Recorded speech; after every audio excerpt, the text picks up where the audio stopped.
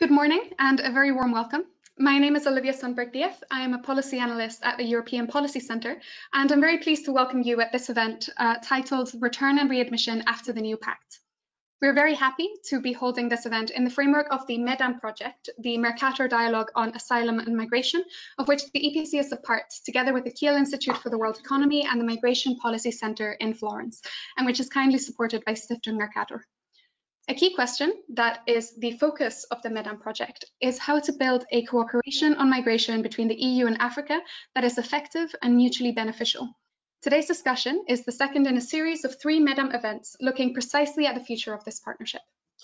This autumn has been an eventful one we have in the background the COVID-19 pandemic, the recent publication of the European Commission's new pact on migration and asylum, as well as the upcoming EU-AU summit, which was recently postponed to 2021.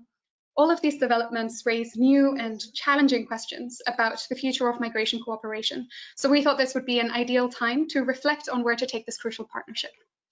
The past event we held looked at labour migration, and the next one on the 4th of November will focus on resettlement, and today we want to look at return and readmission. Our main question that we want to look at today is how can an effective, mutually beneficial and human rights compliant migration cooperation be advanced and what role do return and readmission play in this future partnership between the EU and Africa? The new pact on migration and asylum may, of course, have a significant impact on return and readmission cooperation, which we will unpack today, of course. Are these proposals compatible with African states' interests and priorities relating to migration?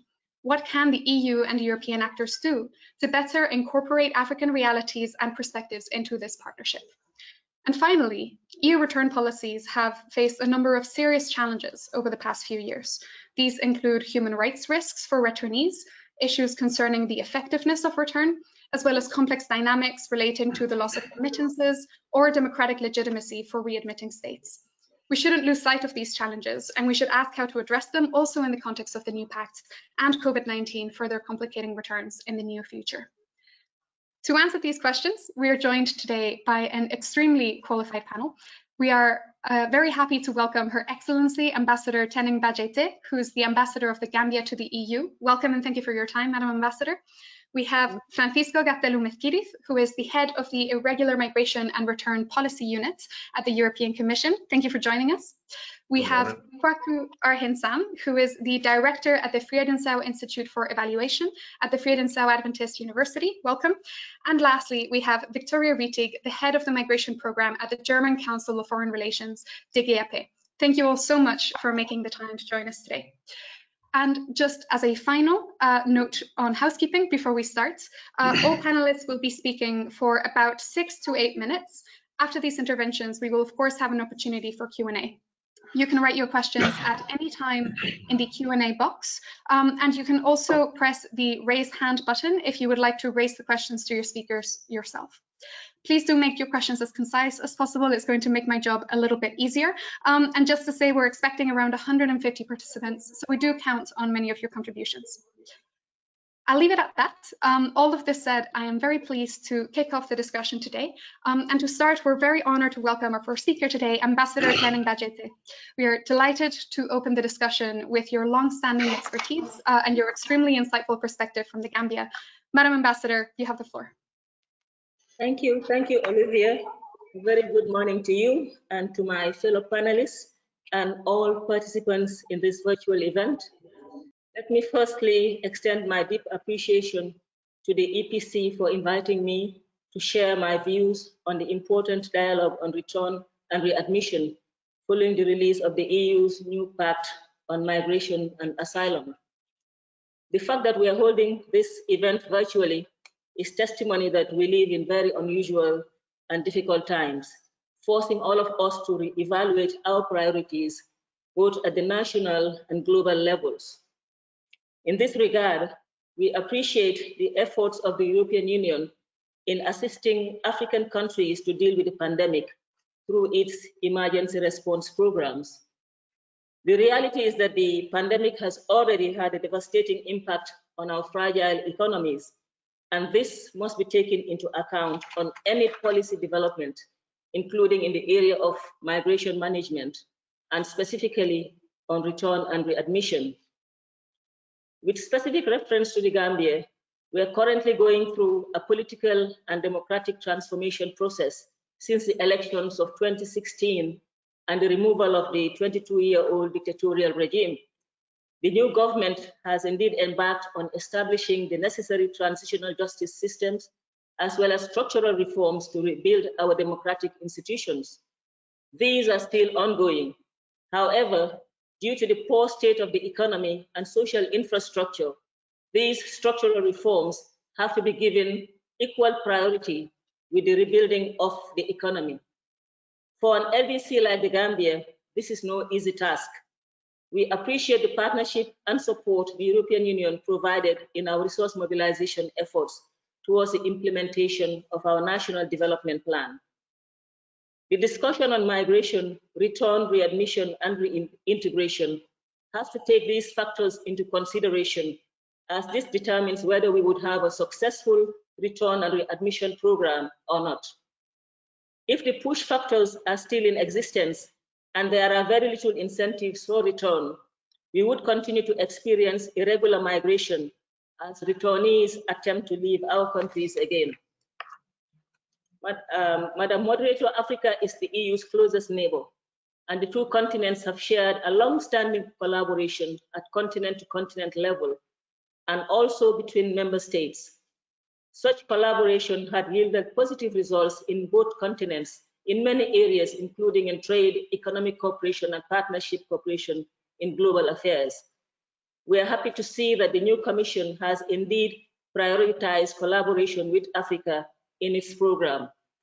This has been demonstrated through high-level visits, including the recent visit of the Vice President and High Representative Joseph Borrell to Addis Ababa Thus, for Africa, the policies on migration and asylum have always been oriented towards reducing poverty and engendering development through job creation to reduce the push factors. That is a more holistic approach to the migration dialogue. The EU, on the other hand, places greater focus on border control and, and management for return and readmission. We also see that the new pact is more focused on border management.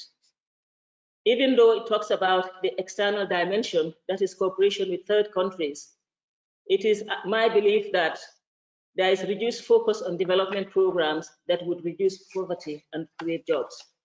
There is also less focus on opening legal pathways for migration.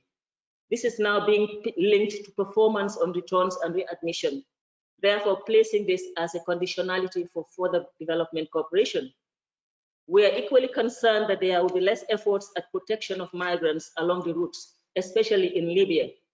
We do know that the Africa, EU, and the UN task force has registered some success in this area through voluntary returns and evacuations.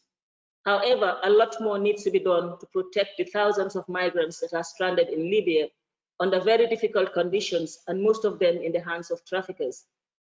The mandatory quick screening at the southern borders, which the EU hopes to do within five days might not prioritize the human rights, safety, and dignity of migrants. We are hoping that the upcoming African Union, European Union Summit in 2021 would focus on implementation of the joint programs and policies, including the joint Africa-EU strategy, which is anchored on Agenda 2063 on, uh, on the Africa we want, and also on the Sustainable Development Goals with the principle of leaving no one behind. We are hoping that it would also deepen economic cooperation through investments, green jobs and growth, as well as fair trade. We also believe that it would give priority and support to the new Continental Free Trade Agreement, which is also anchored on the Free Movement Protocol to support, support labor migration within Africa. Our partnership must, must also help mitigate the economic impact of COVID-19 including, where possible, debt relief or cancellation, increased solidarity to fighting COVID-19, including the development and distribution of vaccines, and support in strengthening health systems. Support to the new OACPS EU Post-Cotonou Partnership Agreement, which is a legally binding agreement geared towards a holistic and longer-term and more sustainable partnership. Specifically, migration policies at both ends must be in line with the African Union's theme of silencing the guns, creating a conducive conditions for Africa's development. We believe that armed conflict is a major contributor to forced displacement and migration. The joint policies must be people-focused and geared towards the protection and welfare of young people for sustainable development. There are also other areas like um, diaspora engagements, remittances, opening up legal pathways to travel and not making these as a precondition for how well we do on the returns area. We believe in a sense that um, the four, first four pillars of the Joint Valletta Action Plan, which includes addressing the root causes of irregular migration, should also um, um, attract equal attention. The EU needs to take into consideration the political implications of forced returns on very fragile democratic systems in countries like the Gambia. The backlash from forced returns and readmission without the necessary support mechanisms in the destination countries can be even more difficult to manage.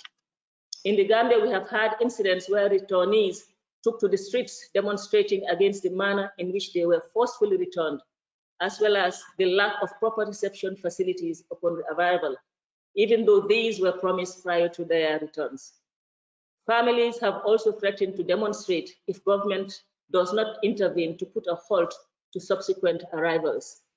For a country that transitioned from dictatorship largely through the efforts of Gambians in the diaspora, mostly young people, this has helped to erode the confidence that young people have in the new government as they felt betrayed. A new national migration policy is being finalized. However, the reality is that capacity constraints hinder us from working at the pace at which the EU expects us to. I would conclude by saying that irregular migration is a concern for both continents. Africa continues to lose its young people, many of whom continue to lose their lives in their bid to seek opportunities in Europe. Europe finds itself dealing with levels of mig migrants that it's not able to handle. Therefore, we need to jointly develop policies and programs that would enable us to arrive at win-win solutions and commit to these programs.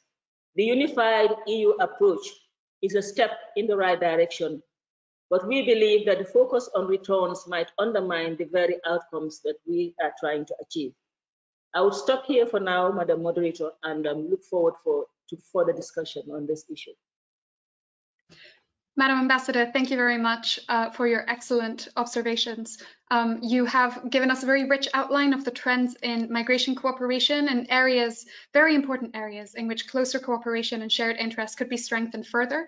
You've also outlined the importance of sustainable return, also in the context of development um, and in the context of tackling concept, uh, conflict and the theme of silencing the guns uh, of the African Union. So I think these are extremely valuable observations, and thank you as well for linking it to the context of the Gambia, which is of course extremely important. So thank you very much uh, for starting the discussion on that note. Um, next, I am delighted uh, to welcome Mr. Francisco Gaztelu-Mezquiriz.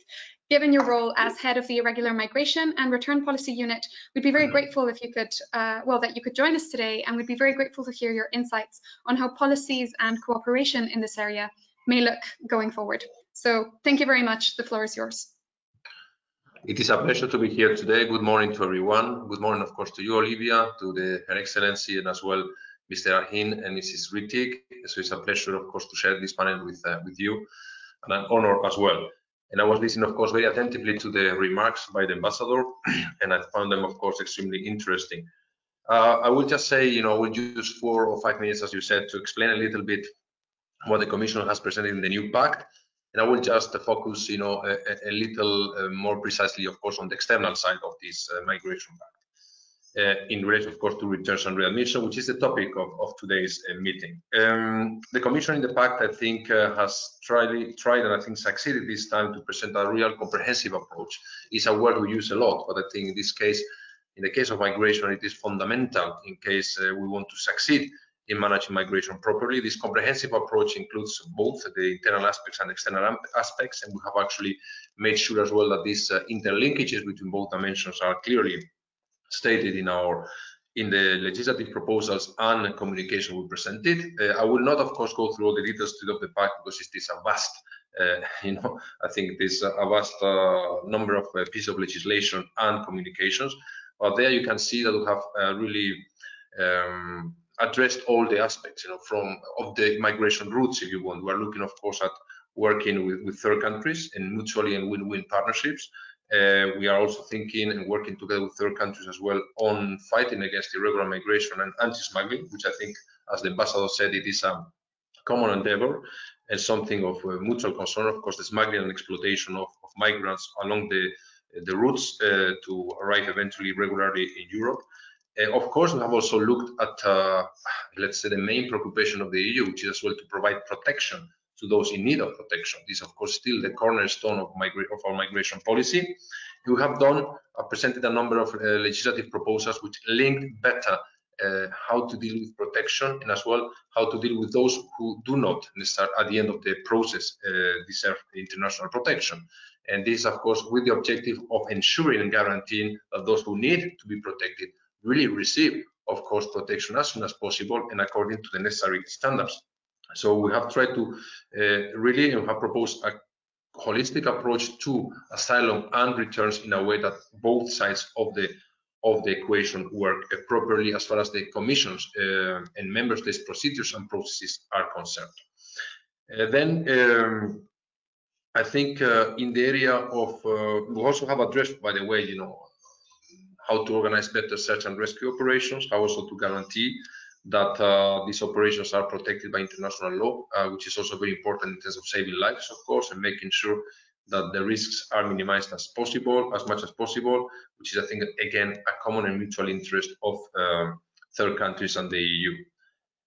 Uh, we have also, you know, in this context, an issue which has been of, uh, of uh, high level of discussion in the EU, um, make sure that within the EU as well, the responsibility and solidarity aspects are well balanced.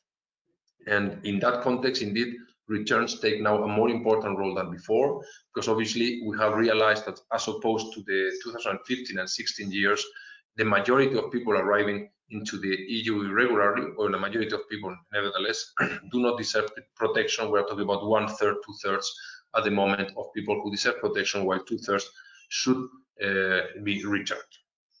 Um, one uh, weak leg, if you want, of our migration policy to date has been the return uh, area uh, for different reasons. I think there are internal problems and as well uh, the cooperation with third countries. Um, internal issues uh, have to be improved, and I think uh, the procedures will be improved following the adoption of the pact, as I said, because have linked better asylum and return rules.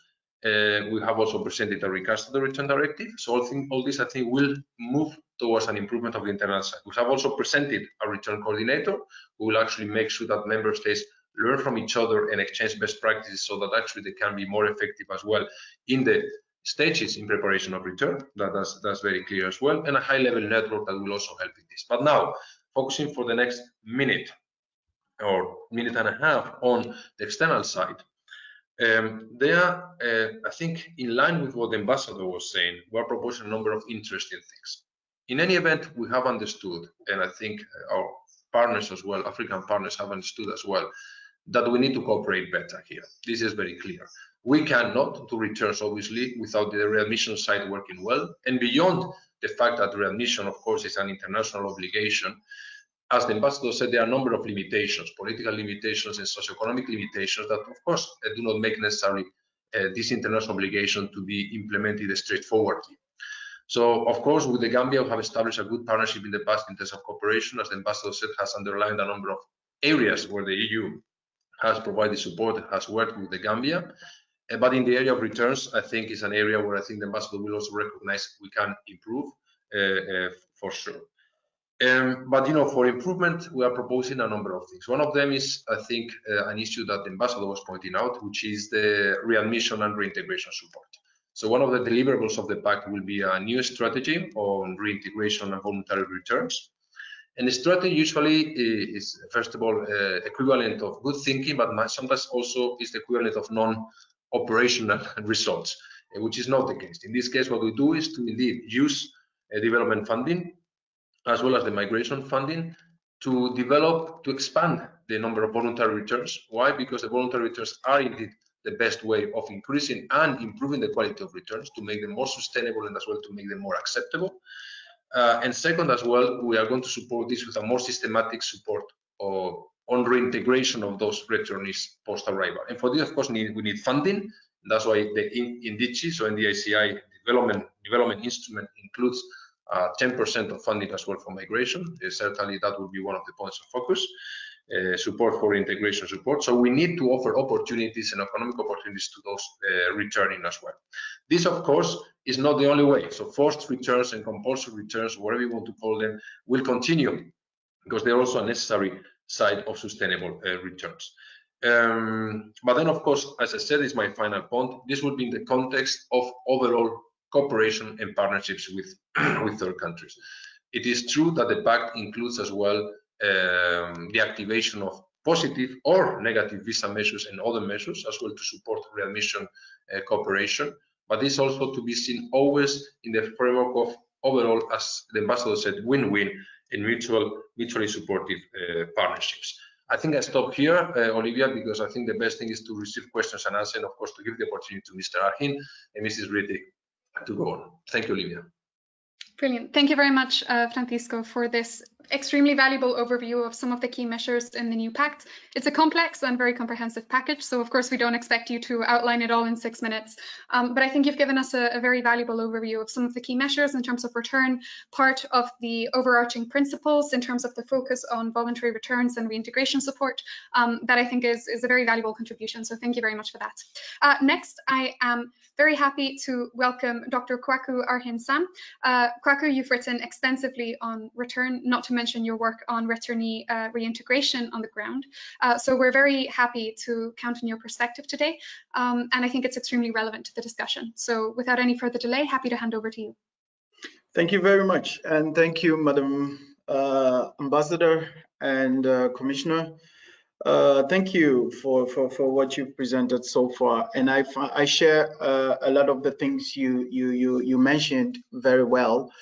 And uh, however, I, I, just want to take a look at uh, how this new pact is viewed by civil servants and administrators who get this document in front of them uh, and what they mean out of it.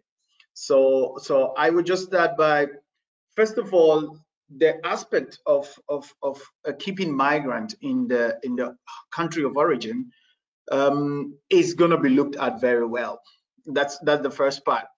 How is it going to be? Uh, what is the process? How how can that be materialized on the ground to to keep migrants in their home country? Uh, actually, uh, the pact uh, is, is very extensive on that part when it comes to uh, keeping migrants home. Uh, but also on the other part, what we are discussing now, return and and reintegration. Uh, I think most uh, uh, civil servants working on migration in many African uh, uh, uh countries will be looking at who is doing what within the EU itself. Because the new pact is sort of like giving the bully the control to now be the police. When, when the idea and the suggestion coming from countries that are not uh, uh, very, very lenient towards migrants actually having to contribute towards return in in terms of personnel or resources in any other way. I think from this angle, it's a very, it's like a win situation for the extreme anti-migrant uh, uh, uh, EU member states. And that is where a lot of people are going to look at what is actually going to happen when these return uh, returns are actually put into force. We have seen issues of abuse of migrants. We, we, we, we, we have heard and, and, and, and followed research about all these that are happening to migrants in some of these countries like Poland, Hungary, and the rest. Now, if these are the ones going to, to, to, to play active role in return because they are not considering the solidarity process of taking in migrants and refugees, then we are looking forward to see how this is going to operationalize then the security and safety of migrants has to come into question because one thing also that many uh, uh, African countries might be looking at is uh, uh, uh, what is EU going to do? And we have to be very careful here because the actions of the EU might be emboldening other uh, other other governments somewhere when they see migrants uh, uh, abuse and then the legitimacy or the, the moral rights of the EU to even come and tell uh, uh, African countries to respect human rights and all this, that moral fiber is gonna go down. So we are looking at how these returns, the forceful returns are going to take place. Now, we are talking about also a comprehensive uh, uh, migration uh, uh, uh, approach or policy. Let us look at the infrastructures of these countries that the, the new part actually is insisting on return to go to. When they go back home to these infrastructure, you can give a person millions of cedis or willfully returning a millions of of euros, whatever currency you give. But if the infrastructure is not there, if the system is not really robust to even invest that money in it, it will go down the drain. And again, we see what would this money be spent on? What would these reintegration and return uh, uh, uh, uh packages spent on? It will be spent on commodities coming from the EU as well. It will be spent on on on on on, on uh, activities that are organized by by the EU and member state uh, organizations themselves as well. So we we have seen in the past all these things building up where organizations and partners of the EU are actually the ones who benefit from these return uh, initiatives. And we have to be very uh, realistic here the, the, the, the budget constraints of uh, organizations, IOM and others who are implementing these policies and these uh, uh, uh, readmission projects, how much does it really go to the projects themselves, apart from paying the staffs and all the other uh, uh, uh, uh see, other other staff that are involved as well? I mean, we have to be realistic about this. Reintegration, return, and mind you, also African countries governments have to sit up. I, when I when I see the pact, I'm not only talking about the civil servants, but uh, politicians need to sit up. We have to start creating the environment that people and the youth will stay back into. When the ambassador was talking, uh, uh, she talked about the, the, the structures that, for example, Gambia is putting in place and, and the structures that are being built but I would say it's it's quite slow. It's it's a slow process. I know the challenges that are there, but also the commitment seems to be going down. Sometimes when we are talking about these, the political environment seems to raise up and come up, but when no one is talking about it, it goes down again. African government, we have a responsibility towards our citizens. And it is true, the European partners might think that uh, African governments are encouraging, encouraging it. No, it's not like that. They are also very particular about irregular migration. However, the focus on return and remittances shouldn't be the key uh, uh, a policy framework for African government because remittances are out of people's own. It's not, they are not forced. If they are not bringing remittances, what will happen to the economy? So the economy should find something else. And these are the the, the, the, the key lines that African government can take from this pact as well. The pact is very European centered again. Uh, I see it that way because, and the Europeans themselves are having even issues to accept and agree on this pact. So African government needs to sit up and take situations into their own hands. And if returns are going to happen, and money is going to come in or, or financial support to build infrastructures, these should be well, well managed. We can't continue doing the same thing we do over and over again. Even though this pact is, is, a, is, a, is, a, is a uh, better improvement from the previous one, there are still aspects on concerns about this pact, how it's going to be implemented. And for this to go on, governments in on the continent of Africa needs to also sit up and think of how to take the situation in their own hands. People are dying, going back or returning them is not just the solution. Thank you. Kwaku, thank you very much uh, for that extremely insightful contribution. Um, you've raised concerns that are perhaps too rarely discussed in terms of legitimacy and, and, the moral fibre and the broader impact that EU policies can have far beyond the continent itself. You've also raised extremely pertinent questions about how return and reintegration initiatives don't always have the necessary impact or the proper management on the ground. I think it's very clear from your contribution that it's a far more complex um, policy sphere to manage uh, than we sometimes pretend that it is when we're talking about it, and that it cannot be disentangled from a lot of uh, broader, very complex questions. So thanks a lot for that. Um, I think that's very insightful. Um, next, and for our final speaker, we will be moving on to Ms. Victoria Rietig. Um, Victoria, you have, of course, also worked extensively on this topic, including on return and reintegration, on the effectiveness of return, particularly within the German context, um, as well as EU-Africa cooperation on migration more broadly. So I'm delighted to hand over to you in just a moment. Before that, just a reminder to all participants that after this contribution, we will be moving over to Q&A. Um, so please continue writing your questions in the Q&A box or raise your hands, um, and you will have an opportunity to raise the questions to the speakers yourselves. Thank you very much. Victoria, over to you. Thanks a lot, Olivia, and thank you very much for including me in this panel. Um, so much has already been covered by um, my three co-panelists that I'm going to cut quite a lot of what I was planning to say. That is a good thing. Um, I was asked to speak to three things. One is what is the likely impact of the pact on return and readmissions going to be? Two, what are the actual challenges in return? Why are returns actually so hard? And three, so what should we do about it? How can we establish a mutually beneficial partnership between Europe and uh, countries of origin transit?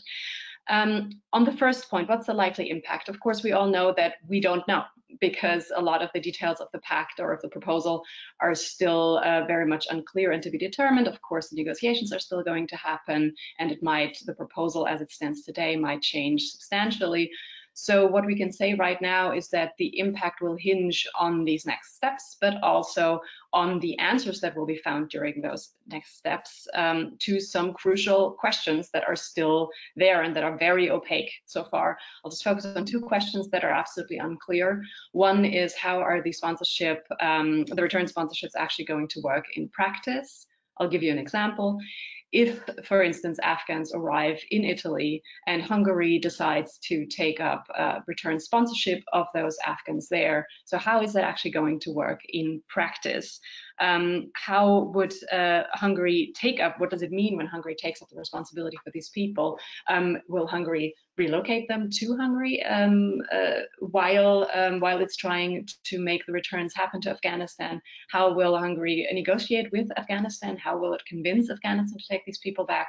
Um, and of course, what happens if uh, Hungary doesn't manage to return these people within the eight months? Will they then be stuck in Hungary? Will they be stuck in Italy? Um, whose laws are going to apply in case of human rights breaches? All of these are open questions. The other open question is of course, what will countries origin actually say? Um, we have a saying in German that is to make the bill without the waiter, meaning to make a decision without taking the most important partner into account. And it seems that the Commission has developed this new pact in cooperation with the member states, but less so in uh, cooperation with the relevant countries of origin.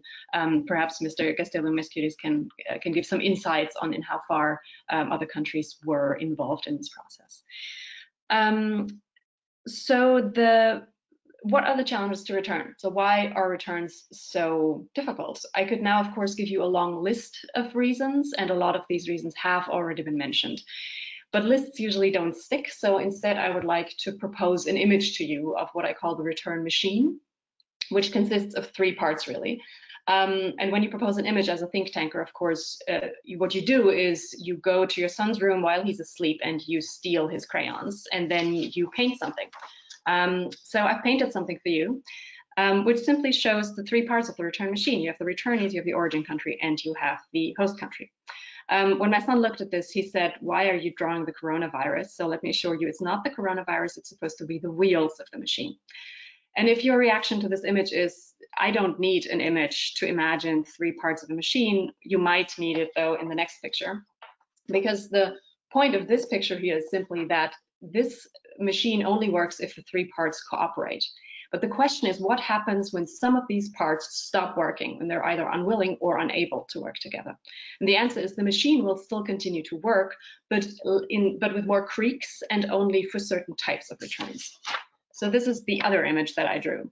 And this one simply is meant to show what happens when some of the parts of the machine don't work and you don't have the buy-in of those parts. Um, let's start with the easy one. So if the returnee and the origin country are all in agreement, what you have is a self-organized return.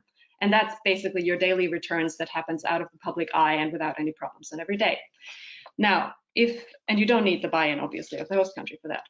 If you have the buy-in of the returnee and the host country together, then you have assisted voluntary return. You don't necessarily need the origin country for that. It would be useful to have it, of course, especially for giving reintegration support afterwards, but you don't need it technically, right? So this can be, uh, just these two parts can work together. And the same applies for the third, third type of return, which is when origin country and host country work together, even against the will of the returnee, and then you have deportations, okay? So I drew this picture not just to show you that my decision not to pursue an art degree was the right one, but really to make clear and drive home one point, and that is that if the return system is broken, it is rarely the fault of one of these parts of the machine. Our debate oftentimes seeks fault with one part of the machines. You have a lot of politicians that talk about countries of origin not being willing to cooperate or returnees not, um, not willing to cooperate. But of course, that is a, a, bit of a shortened, that's a bit too simplistic a view because usually the problem lies with all three parts. So you have to nudge all three parts to get things going.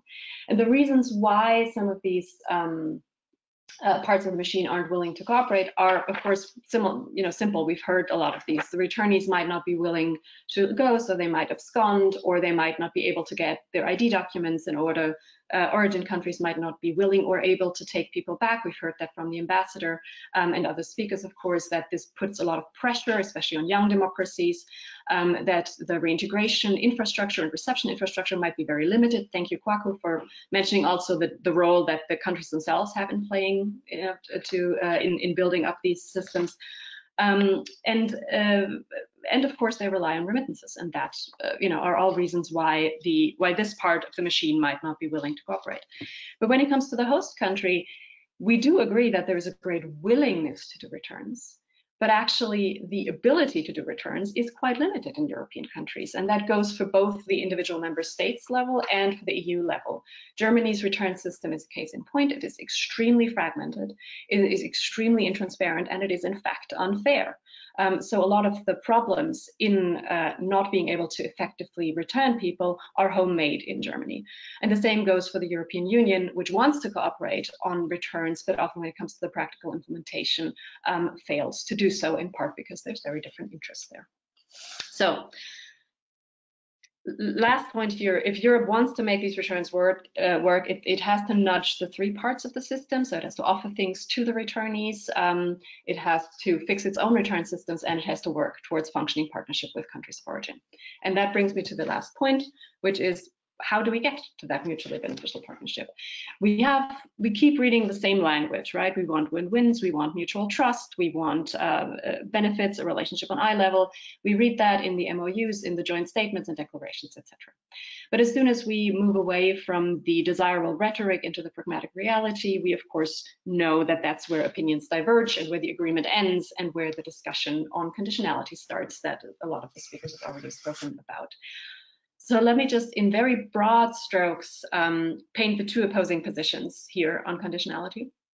Some say a functioning partnership needs uh, incentives but never threats. So EU countries should offer preferential visa access, um, legal pathways, financial support through development aid, but never actually threats because sanctions might hurt more than help and will uh, have a negative impact on the development of the country. That view, of course, is legitimate, but it misses a few facts. It misses the fact that sometimes there are examples when sanctions have actually increased the return numbers. It misses the fact that the threat of sanctions might be useful to have in your negotiation toolbox, even if you don't use the sanction itself. So these are some things that complicate that view.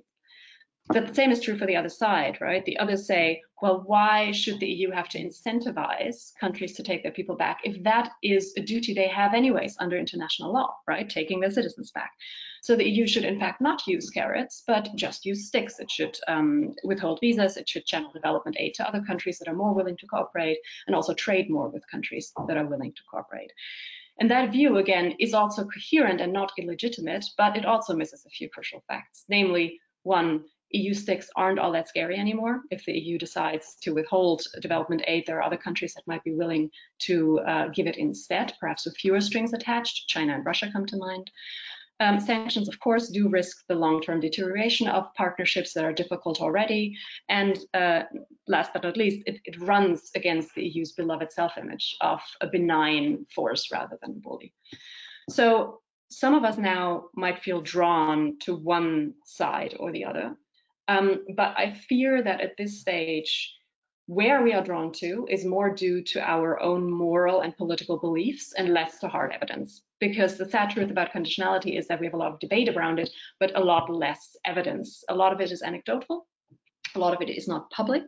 Um, so my the very last thing I'll say is that to really um, continue this discussion in a useful manner, what we need is better evidence on where and under which conditions positive incentives and negative sanctions actually have what impact on return numbers on development and on other factors. And once we have that that would actually enable us to um, to understand the real life effects and the trade-offs of these things as opposed to just the theoretical ones that we keep discussing. And very last sentence that hopefully then would enable us to move from the rather entrenched conversation of whether to use conditionality to a more useful um, conversation about how and under which circumstances to use it and what trade-offs to expect. Thanks. Thank you, Victoria. Um, you have managed to touch in quite some depth on a range of very complex uh, policy debates in very little time, so I commend you for that. Um, thank you for the very instructive overview of the different barriers to return and how they may interact with each other. I think this raises, among others, a lot of very interesting questions about the new pact uh, and whether uh, you know, that runs similar risks of having policies rely very heavily on each other without a clear answer of what happens if one of those elements fails. Um, so something that indeed we can discuss in more detail later. Um, I'm also very grateful for your comments on conditionality. Um, I think you're absolutely right that it's it's a debate that uh, requires a lot more information to be able to have informed opinions um, about it. And I think that uh, you've given us some very good advice going forward. So thank you for that. Um, and I think that's an excellent note on which to move to our Q&A session. We have already had quite a few questions, um, so I'll give the people who asked them a chance to read them out themselves if they would like to. Um, starting perhaps with Madeline Martin. Uh, Madeline, you asked a question. Uh, would you like to read it out?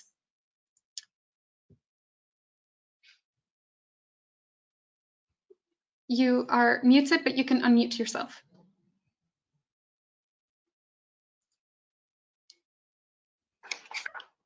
Hi, Madeline. I think we hear you. No, we do not. Okay. Um, perhaps uh, Madeline will come back to you. Josephine Liebel, you wanted to ask a question?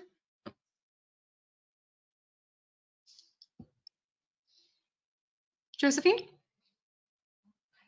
Um, hi, can you hear me?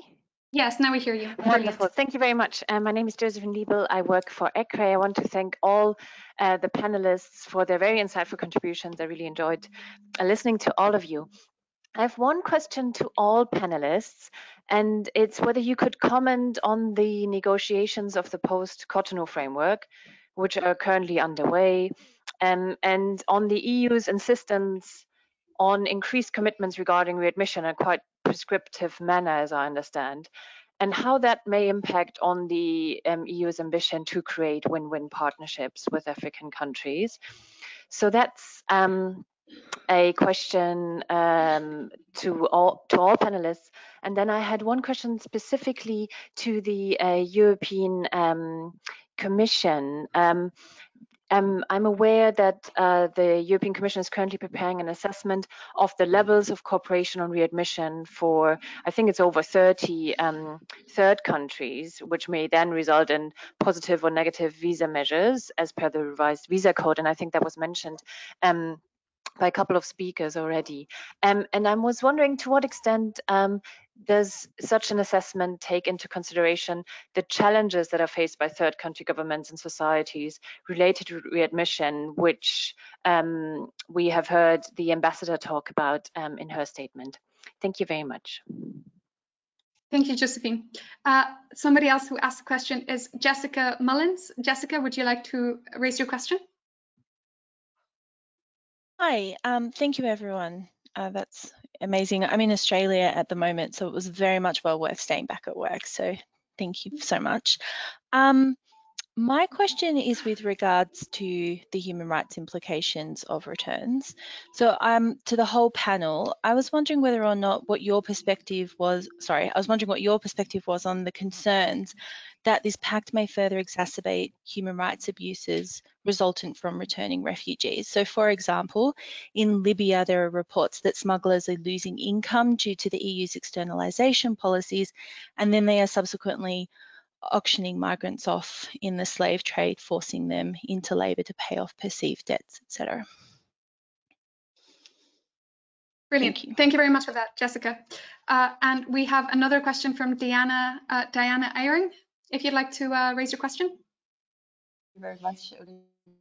I just had a quick question for Francisco Gaztelu-Mezquiriz on um, um, on the assisted voluntary return um, component, because I think you mentioned before that one important part of this um, will be to increase increase uptake of, of assisted voluntary returns. And so I wanted to understand perhaps in more concrete terms um, how the EU envisages this to, to happen. Thank you. Thank you very much, Diana. Um, and lastly, Madeline, would you like to try again to raise your question? Okay, it doesn't seem to work, uh, so I'll read it out. Uh, Madeline's question was also for Mr. Mezquiriz, uh, which is which difficulties um, are there to the implementation of readmission agreements by EU member states that the Commission has identified, uh, presumably in, in, the context of the new pact, but also more broadly. Uh, so we'll leave it with this round of questions for now, but of course we'll come back for more. Um, let's go back to the panel, starting with Madam Ambassador, if you'd like to start. Thank you. Um, thank you very much, um, Olivia. And um, I think the question from Josephine was regarding the, the OACPS EU partnership um, negotiations that is um, ongoing at the moment.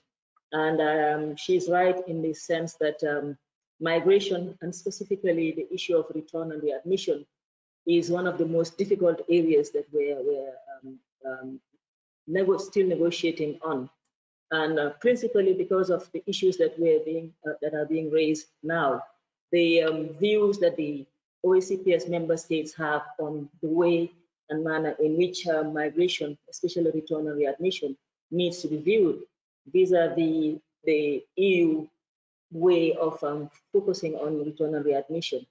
So um, I would not discuss the details of um, the agreements. Like I said, it's still being um, negotiated, but we are hoping that whatever outcome we arrive at at the end of the day would take on board our interests and concerns and um, at least make sure that you know it's a long-term partnership and um, it's legally binding make sure that um, it does not it leads to the desired outcome in terms of reducing the numbers coming in illegally as well as um, protection of um, migrants that are already in Europe and um, also in transit countries like Libya. This has always been our contention the focus has always been how many people are being returned, which is not a very good yardstick of um, assessing how the returns policies are being implemented.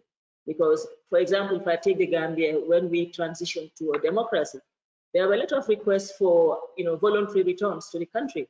But where the country is not able to absorb the returning migrants and um, economic possibilities are still limited or being developed, we find out that um, a lot of those people that um, took the route of voluntary returning are finding their way back to Europe, which is not what we want because we want our young people to stay and develop our economies.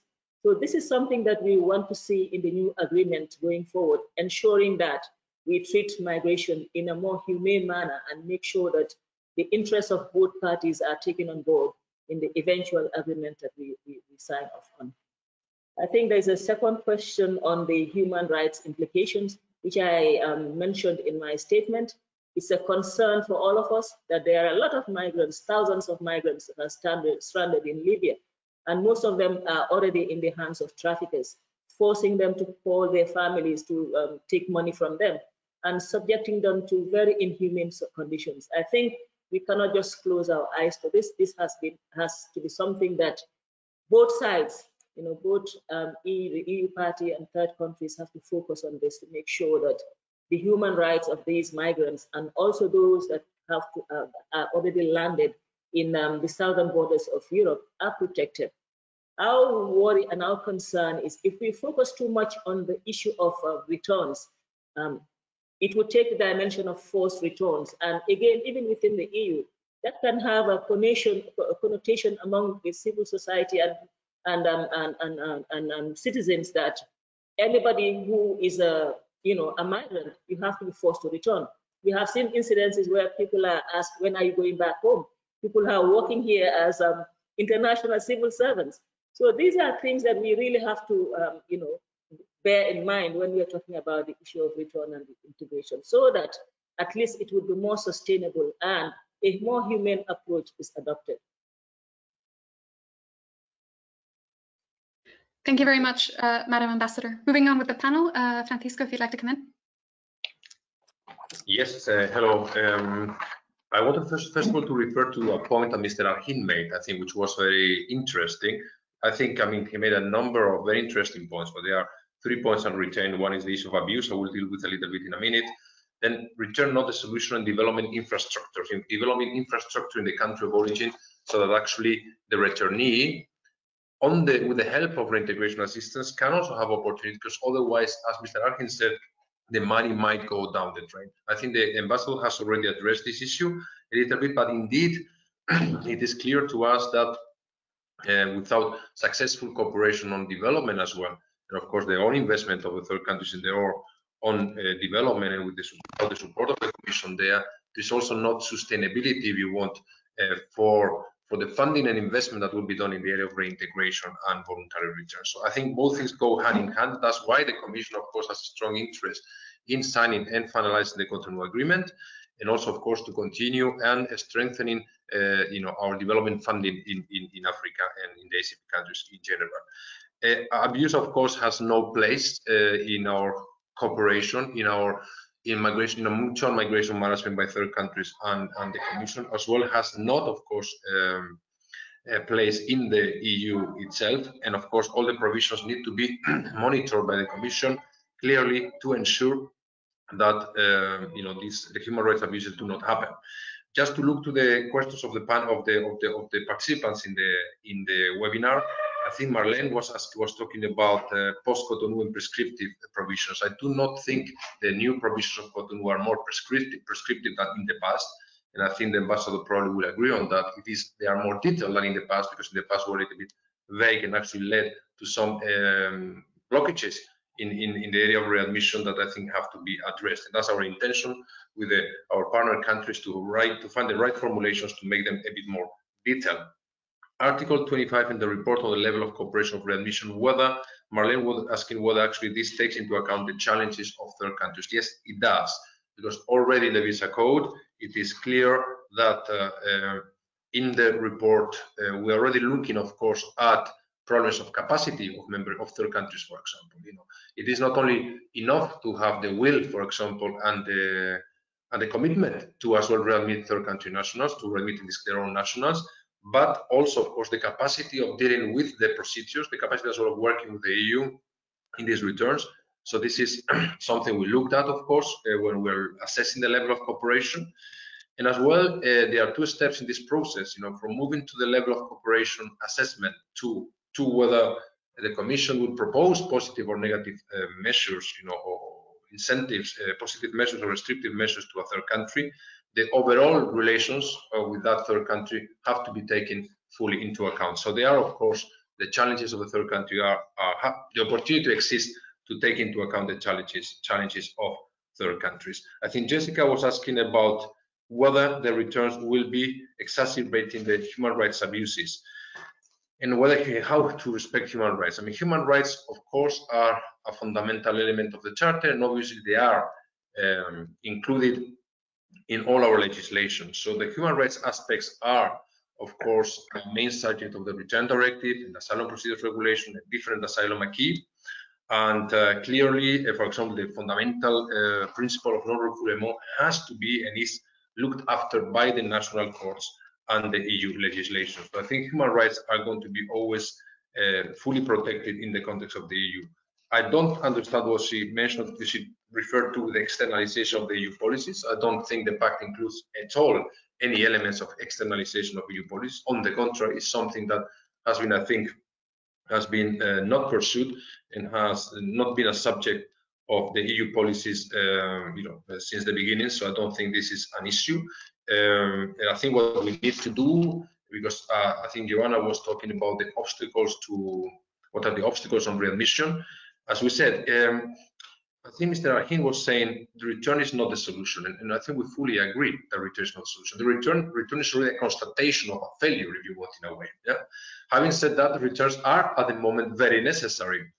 They are very necessary because they are an obligation, and I think we all want African partners and ourselves to be seen as respecting uh, international regulation. I think we all want to be trusted partners in the in the world scene, and as well it's an obligation because if this if the returns uh, do not work, it's also very difficult as well to build up the confidence to develop uh, other aspects of our policy that we have proposed in the past, in the past, such as legal migration, for example. You know, I think I think this is those are really legs of the same table. When if, if we work successfully and we cooperate successfully on all these areas, I think we can have a much more positive and I think mutually beneficiary uh, uh, migration policy.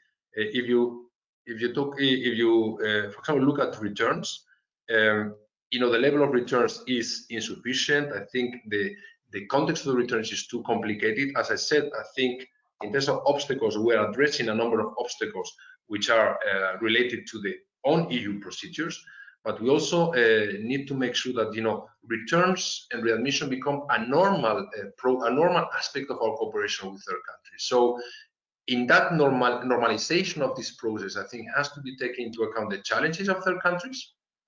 As, as the ambassador said, for example, is something, you know, we know that it's not, as I said, a straightforward issue. Returns and readmission can, can create political problems, can create socioeconomic problems. So we have to look into this for sure. But it is also, it should also become normal and more fluid that returns happen uh, while actually trying to avoid or minimize these political and socioeconomic consequences. And I think this is what sometimes we're missing. We're missing this normalization of this as one more aspect of migration. And then, as I said, and I finish with this, we have proposed uh, legal migration uh, proposals in the in the in the pact. Uh, we have expanded our resettlement possibilities uh, enormously.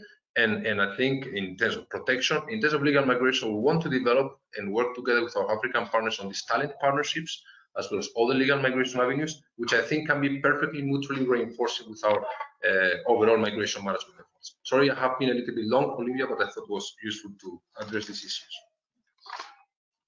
Brilliant. Not at all. Thank you very much for that. Um, Kwaku, over to you. But before that, just a reminder to all participants that you can continue submitting questions uh, if there's any more you would like to raise, and we will make sure to address them before the end of the event. Over to you. Thank you. Um, yes, I would just quickly um, uh, react to to the the the the, the just mentioned comment. I mean, I still insist uh, return is not the solution. Uh, it's a necessity at this time, but it's not the solution at the end. You will have people you return, they will try to come back. Uh, we've seen this happening over and over. And people are here also not on their own as well. We have this uh, criminal element to, to this whole irregular migration uh, uh, route. People are boarded, they are forced to enter ships and boats from Libya, just that uh, these criminals will, will, will be seen to be having something to do and push there in, in these directions against their will. However, I would just go to uh, uh, the question of uh, win-win. there was a question about um, whether this uh, pact actually brings up win-win situation.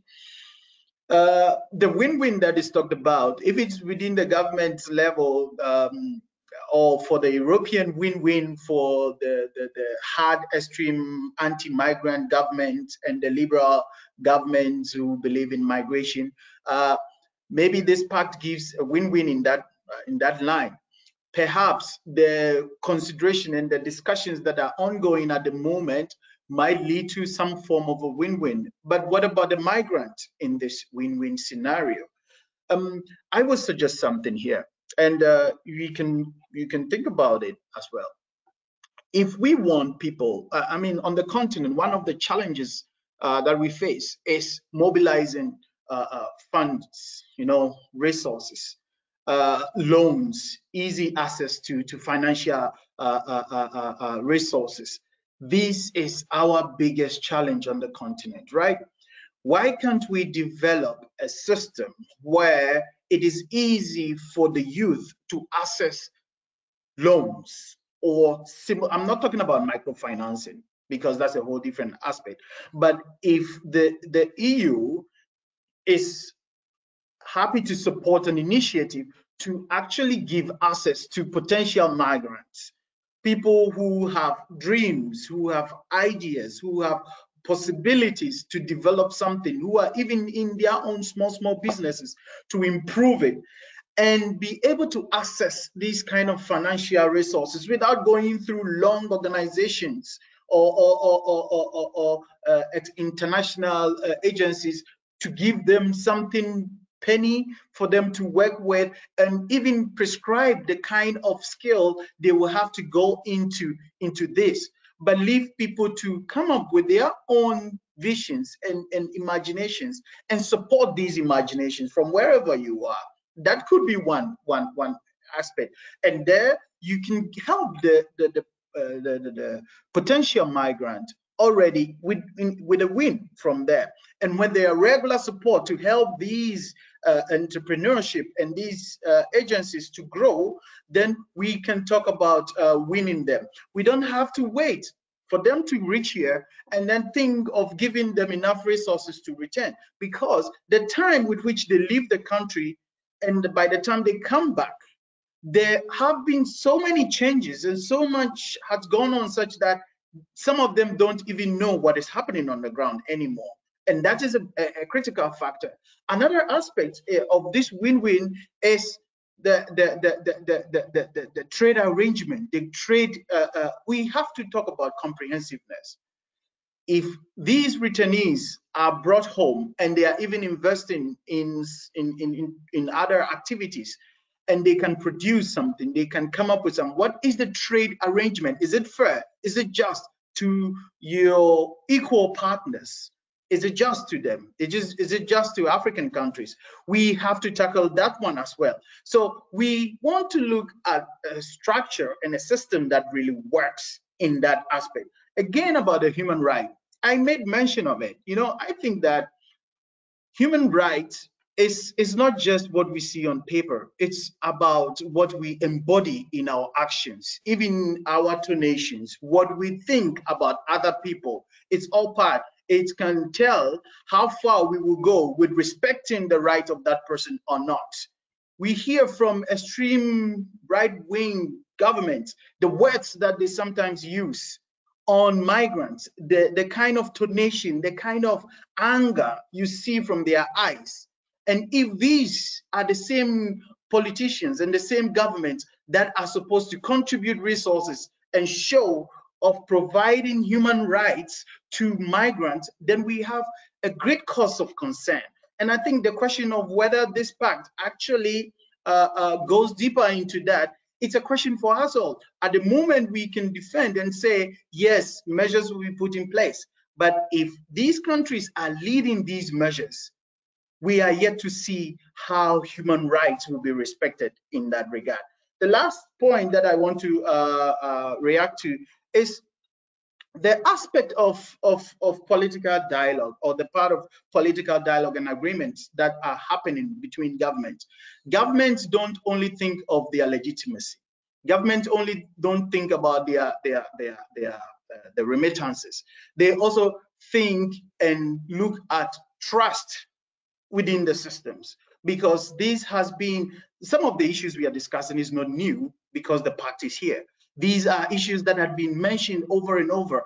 How far have we always tried to take into consideration the, the, the, the third or, or, home country or country of origin, their perspectives in some of these uh, uh, uh, policies that are developed? I think these are also very important. Return can help at this moment for the European perspective and for other others who want to uh, uh, please their, their, their electorate. However, when we focus on it too much, we are missing the point. That's that's all I want to say. Yeah. Okay, thank you, Kwaku. Uh, Victoria, the floor is yours.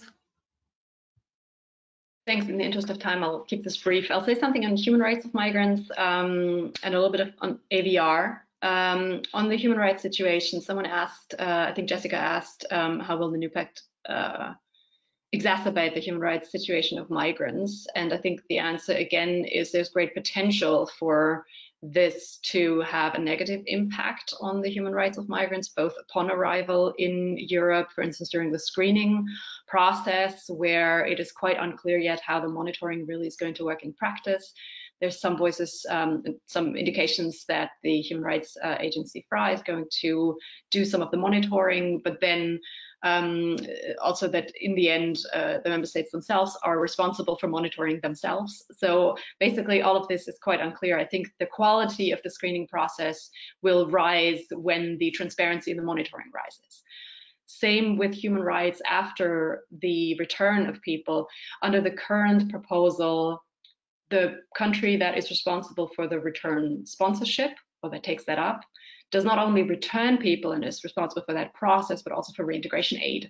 And I really struggle um, with viewing a country like Hungary. It's always used, you know, Hungary or Austria or all the countries that, you know, tend towards um, return sponsorships or might tend more towards those than towards resettling, relocating them.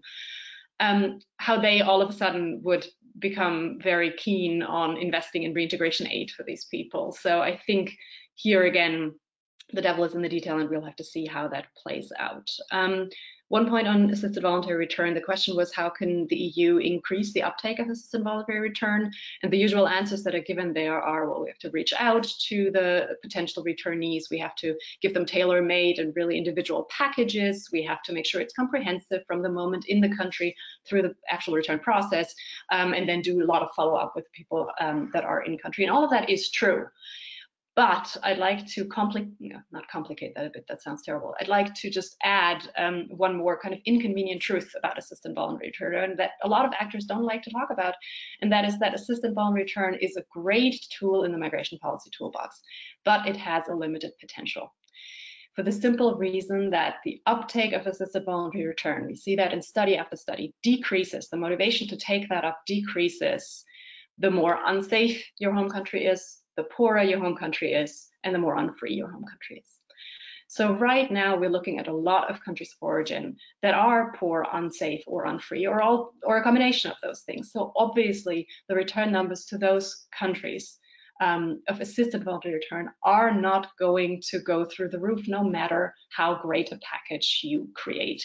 And that is why in the end, of course, we should continue to invest in AVR, but we should acknowledge that AVR is a tool that cannot replace deportations but it simply it can work in parallel to deportations but not instead of them in all cases and that again it's it's an inconvenient truth but it, it remains a fact nonetheless um, one more thing I'll add on this, how, what are the problems in actually implementing the readmission agreements and how can the EU implement readmission, readmission agreements more? Mm.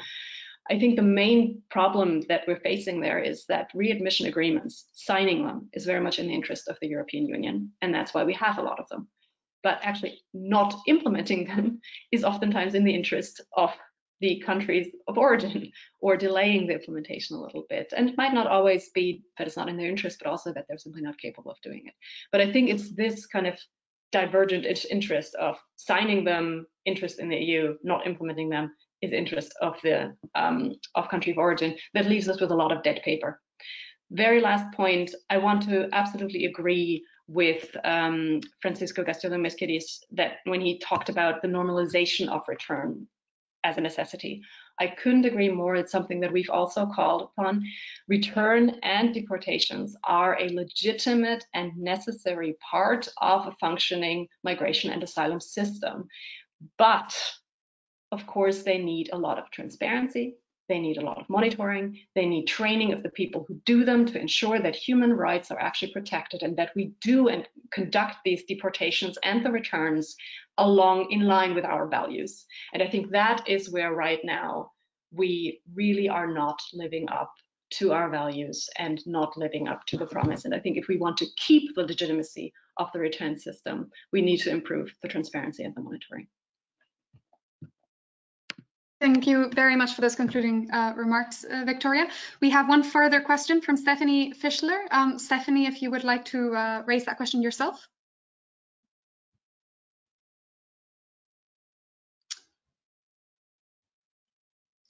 Stephanie, I believe you're muted.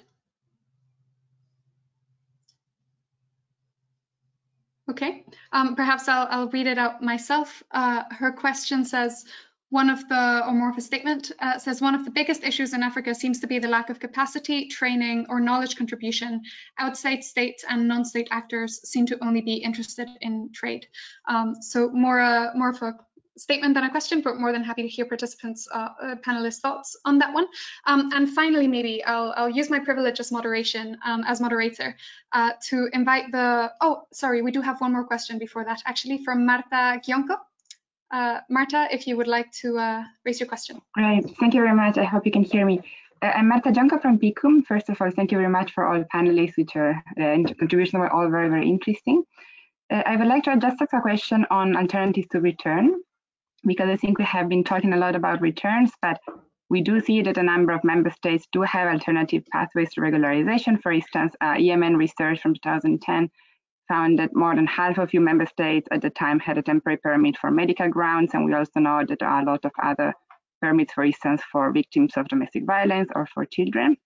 And I would like to know how you think that these alternatives could be more better promoted to avoid the human rights implications of returns, and in particular, how in the new EU Pact you think that access to these permits could be preserved and encouraged. Thank you very much. Brilliant. Thank you, Marta, for that question. Um, and I believe we have no more questions. Um, so I will, I was saying before, I will use my privilege as moderator to just bring us back to the initial question with which we started this event, which is what can we do going forward? It's been very clear from the discussion so far that there's still very different perspectives uh, on the priority given to returns compared to other policy areas versus the necessity of returns for those other policy areas like labour migration to continue progressing as uh, on the EU perspective uh, it, it, would be intended. Um, the question that I would like to raise maybe and conclude as a concluding question for all panelists is what can the EU do given this priority that will continue to be given to returns? Uh, what can the EU do to better integrate these other perspectives? Are some of the proposals we've discussed, like a focus on voluntary return and reintegration, enough? Are there any other policy elements that are new that would be missing there? Um, so more than happy to hear um, panelists' remarks on this, uh, and after this round, we'll conclude. So, um, Madam Ambassador, we'll turn over to you uh, for your final remarks. Thank you, thank you, Olivia, and um, I thank all the uh, my fellow panelists for the very detailed and interesting discussion on this particular issue. Um, I firstly want to say that we need to focus on the partnership approach. You know, we had said that um, we are partners. It's not um, donor-recipient relationship, but that partnership has to be seen to be done in action.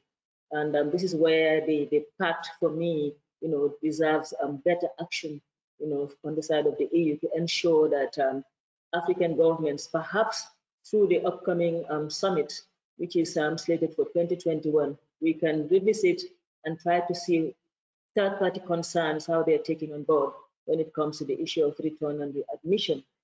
We also need to adopt a very holistic approach. The, all the migration policy documents from Africa talked about the holistic approach without um, bearing in mind the developmental issues related to migration, it will be very difficult to have the positive and sustainable impact that we're looking for when it comes to the issue of migration. We also need to bear in mind that um, our countries are at different levels in terms of capacity. I think one of the last speakers mentioned about the issue of capacity constraints in Africa. This is a reality. Our governments, you know, this is the first time that we're trying to develop a migration policy, for example, you know, and then you have to capacitize the various institutions that you have built. The uh, mechanisms in place upon arrival in the in the third countries are not there. You know, even if they are there, they are not developed to a level wherein we can sustain and make sure that the migrants that return are well catered for within the, the society. And um, I believe um, Dr. Kwaku mentioned the issue of skills development. This is a critical need in Africa. There are jobs in Africa, but the human resources don't match the skill sets that are required. to develop our economies. We need to focus on that. We need to focus on creating the jobs within Africa. We need to make sure that there's industrialization. And this is where the capacity of young people needs to be built in. These are realities. If we need, if we want to make sure that you know our young people stay in the country, these are issues that have to be focused on. I agree that um, international protocol requires that um, return and readmission is a reality, is a necessity. But it has to be done in such a manner that young people, uh, they themselves take the decision to return in the first place. And we, even where they're forced to return, it is done in a humane manner and in the event that they actually um, arrive at their destinations, that at least their welfare and um, um, human rights are, are, taken into consideration and there wouldn't be any need for them to return back to um, back to Europe. So these are things that I believe we can work on together, the EU and African countries, through the various platforms that are available to us, so that at the end of the day, we arrive at, back to where I started from, the win-win solutions that we are looking for. I had said that Africa is a youthful um, um, continent, and we need our young people to develop our country. It's a concern for us that these young people prefer to leave using all means possible to them to come to Europe. And uh, migrants are, by their very nature, are people who are very industrious. You know, they they they are they have the drive to develop. So this is what we need to tap into to make sure that at least they use those energies within their countries of origin. I think I would stop there and to thank you very much for inviting me to participate in this very interesting discussion. Thank you. Thank you very much for joining us, Ambassador. Um, Francisco, I'll move over to you. Um, in the interest of time, I'd, I'd, ask all panelists to please try to keep the concluding remarks as brief as possible.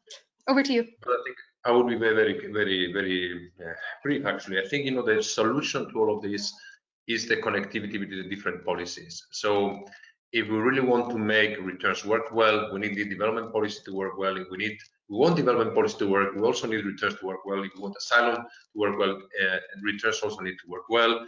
And indeed, I think Mr. Arhin said it is important that, of course, mainly third countries, because it is, of course, their their job, but with our cooperation and support, we create as well economic opportunities for those who will be returned.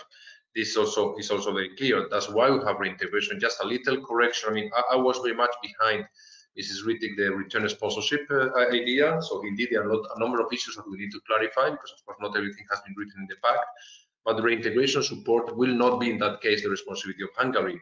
That will be really the EU uh, providing the support for reintegration and, and, and, further support after return. The return of sponsorships is more about, let's say, uh, diplomatic support and as well, of course, practical support, identification support, and so on and so forth in the country of entry or after eight months in case it is necessary to continue the process of return from the country of destination. Uh, but there are a number of things, I agree, a number of things we need to clarify, and actually we are taking the time over the next weeks and months to clarify these issues of the return sponsorships. But indeed, I think it's the connectivity of the policies. And, uh, and for this, we need the cooperation of third countries. Uh, for me, it is very clear the Commission, the EU is not blind to the obstacles and challenges that they are confronted with the third countries, but it is also equally important that we their cooperation is strengthened as well and their commitment as well to make the migration policy is work uh, with us. Thank you. Thank you very much. Kwaku, over to you. Thank you all very much. And I, I thank all the questions that came in. They're really, really, really helpful for the discussion. Uh, quickly, I would, there's this scenario that uh, whenever you try to keep something so much from someone, then you give the person more the urgency to, to, to look for it even the more. The more we put attention on return, uh, and and that we we we, we also create the, uh, the, the the assumption that because some of these packages that are given alone to someone who didn't migrate is quite a lot of money, all right, or a lot of uh, a lot of things in that package. So it goes on, and it can even motivate others to take the same, reach there, get this small package, and bring it back. If the solution has to be there, let us think of alternative ways to create uh, uh, uh, the, the, the needed structure in the home country. I think that should be where the focus on, and that's why governments, African governments, like I said before, needs to be apt and doing. Uh, the Gambian government, I, I, know very well, you are putting a lot of uh, uh, uh, infrastructures in place. And that's actually very good because also you have a huge number of of of of, uh, uh, of, of migrants as well, and that is very good. However, to conclude, I would say the alternatives to return should continue. I think we have to address Martha's question. These are there, and my and also we have to change this preconceived assumption that migrants as if uh, don't want to even go back home at all forever. No, I mean, even if you stay in Europe, you'll be reminded always to go home. Even if you don't want, if you if you're not planning to go in the next few days or so, they will be you'll be reminded to go. So people want to go, but to go back to what? That is the most important aspect that usually we miss. And so alternative returns should be there on the agenda. People are here who are trapped as well, even legally, they are trapped, but they need this support to go uh, as well. We have to put this in place. So to thank you all for this wonderful discussion, I think it's something we need to keep on doing. And I thank the European Union, at least this pact, even though has so much similarity to what had been happening, it is a step forward, knowing that we can work together, discuss further, and provide better solutions. Thank you. Rebecca, thank you very much for that compelling conclusion. And Victoria, over to you for the final word. Thanks. I'm flattered to have the final words I'm between you and Coffee, and I'll keep it brief. Um, what should we do? I want to echo what the PICUM representative um, stated in her question, and that is obviously we don't need to just talk and think about returns, but also about regularization. The two-pronged strategy that individual member states have to pursue in the coming years is of course one where returns are considered a what they are, which is a legitimate part of the migration policy toolbox, but it is simply not realistic to presume that everyone who has received an order to return is actually going to return eventually. The numbers simply are talking another language here. We know by looking at the data that it's unrealistic that all these people are going to return. So what we need to also do is put serious thinking behind which groups of people will we give a path out of this legal limbo who will we give officially a chance? Because giving that chance is in the interest of the people that are concerned and in the, in the interest of the individual member states. So think about after X number of years, people should be allowed to stay. If they've been paying their taxes, should be allowed to stay. If they have no criminal record, they should be allowed to stay. This is not rocket science. Every big migration magnet in the world has dealt with these issues before and has found uh, ways out of it different European countries have had um, have had regularization campaigns in the past. It is only today that all of this seems to be so difficult because our conversation has turned toxic. But it doesn't have to be that way. We have historical precedent of this. So regularization and return, both necessary and legitimate parts of the answer to the challenges of today. Thanks. Brilliant. Thank you, Victoria. A lot to think about going forward. Um, I would like to conclude here with apologies for going slightly over time, but I think the discussion was worth it. Um, I hope you agree. Um, I'd like to first thank all excellent panelists for taking the time to join us today, and of course, uh, of course, also all participants for joining this extremely insightful and lively discussion. Um, I think one of the things that has been very clear from the discussion is how impossible it is to disentangle return and readmission from a wide range of other policy spheres. So in that context, I'd like to remind remind you that our next event on the broader EU-Africa cooperation on migration will focus on resettlement. That's happening on the 4th of November and invitations and further details will be out shortly. We hope to see you there. Um, the EPC and MEDAM has done a lot of work on this area, including on returns and readmission cooperation. We invite you to check that out um, and keep following our pages for further work to come in the coming weeks. Thank you all once again for joining. Um, it's been a fantastic discussion. We hope to have you over at the EPC again soon. Many thanks. Thank you. Thank you, Olivia. Thank you very much, Olivia. Take care, everyone.